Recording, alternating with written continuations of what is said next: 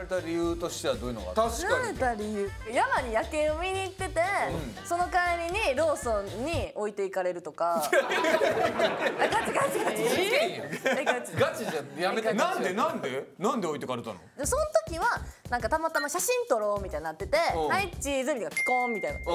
その床みたいな。人があー LINE にそれはそれ入ってきちゃったんだ。それで見たら喧嘩しちゃったんですよ、じゃあ車な。そう車降りろやってことかで「お前何様やねん!」とかで切れられてはっと思って。